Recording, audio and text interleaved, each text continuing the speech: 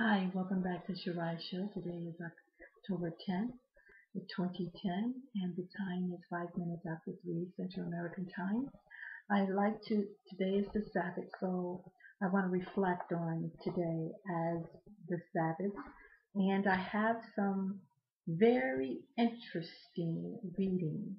The first one is from The Spirit Warriors by Stu Weber. And it is very interesting. This is from the part that I'm going to read is an actually the actual writing in Christian Christianity today. The following imaginary but all too possible dialogue between Satan and one of his underlying a demon named Fireball. It may well be illustrative of Satan's deceptive tactics. They are talking about their attempt to undermine the Easter season and its emphasis upon Christian resurrection. The title of the article was Dark Counsel at Easter. The devil looked pierced, thin smoke ribbon, and fell on his underlying fireball. How are things shaping up this Easter? he asked. That's the devil. Fireball shrugged. Normal. Lots of nice outfits being assembled. Florist doing the big business. Chorus tuning up on the old hymns about victory over the grave. Anything serious to our cause? The devil asked. No more than usual.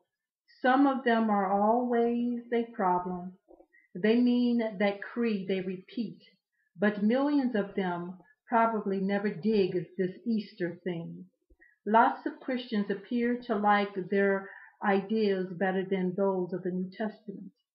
Many of them seems to be taking less and less to the resurrection. Hmm, very interesting. And morality is fine. Let them talk about it but muddle the theme as much as possible. Try to keep the word justification out of their minds. They are not to realize why he arose from the dead, and keep them from studying Paul too much, especially where he insists that if Christ did not rise from the dead, then mankind cannot be saved. Noted Majesty deflate them from connecting the resurrection with stewardship also. Fireball beamed.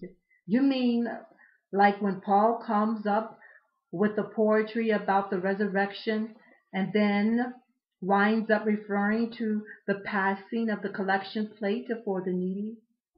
What really matters, little brother, is that we make immorality becloud the issue. Hide from them the awesome blow to our cause.